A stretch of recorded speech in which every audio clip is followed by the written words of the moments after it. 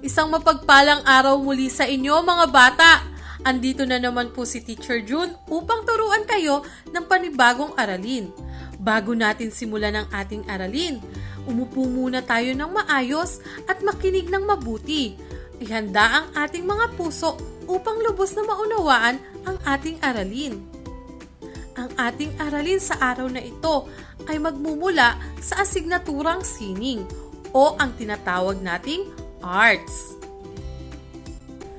Ang paksa ng ating aralin para sa araw na ito ay mga kagamitang pansining.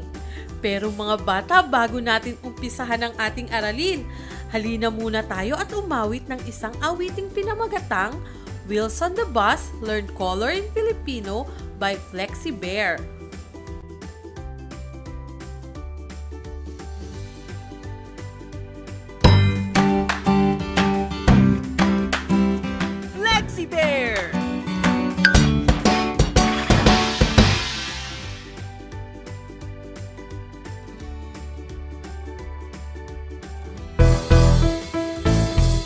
Gulong ng base kulay pula, kulay pula, kulay pula. Ang gulong ng base kulay pula sa buong bayan.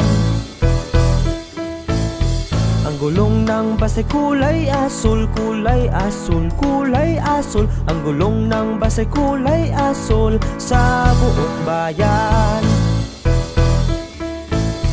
ang gulong ng base kulay berde, kulay berde, kulay berde. Ang gulong ng base kulay berde sa buong bayan. Ang gulong ng base kulay puti, kulay puti, kulay puti. Ang gulong ng base kulay puti sa buong bayan ang gulong ng base kulay rosas, kulay rosas, kulay rosas Ang gulong ng base kulay rosas sa buong bayan Ang gulong ng base kulay itim, kulay itim, kulay itim Ang gulong ng base kulay itim sa buong bayan Magaling mga bata! Napakahusay ng inyong pag-awit! Mga bata, sa araw na ito sa ating aralin ay matutuklasan natin ang iba't ibang mga kagamitang pangsining. Tingnan niyo po mga bata ang mga larawan na aking ipapakita. Ano-ano kaya ang mga bagay na ginamit sa paglikha ng mga likhang sining na ito? Napakaraming bagay ang maaaring gamitin upang lumikha ng sining. Ang mga karaniwang kasangkapan ay Una, ang lapis. Ang lapis po ay ginagamit na panulat at pangguhit. Pangalawa ay ang papel. Ang papel ay ginuguhitan at dito tayo nakakagawa ng iba't ibang hugis. Sunod naman po mga bata ay ang Crayola. Ang Crayola ang nagbibigay kulay sa ating mga guhit. Ang panghuli mga bata ay ang gunting. Ang gunting ay ginagamit sa paggupit ng papel, karton o tela. Narito naman po mga bata ang ilang halimbawa ng mga bagay na hindi karaniwang ginagamit sa sining. Ngunit maaari ring gamitin sa paglikha nito. Una ay ang basura. Opo, tama mga bata. Maaari ring gamitin ang mga bagay na patapon na, ngunit maaaring iresiklo o i-recycle. Pangalawa ay ang bakal na nagpapatibay sa isang eskultura. Sumunod naman mga bata ay ang salamin.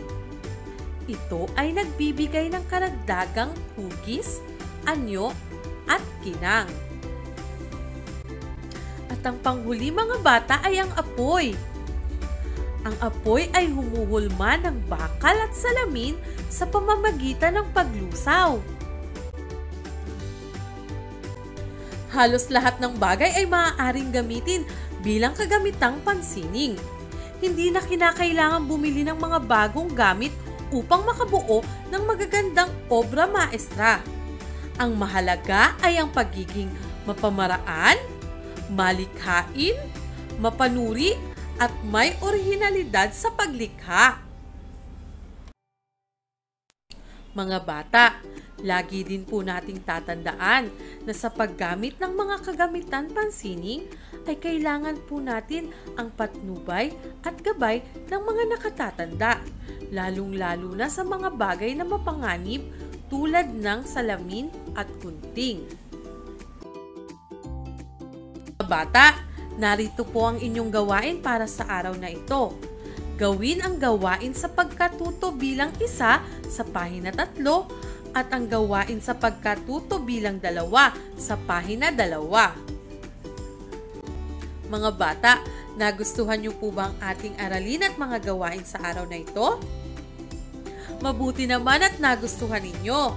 Naway marami rin po kayong natutunan. Ngayon po, magpapaalam na muna ulit si teacher. Hanggang sa muli, paalam!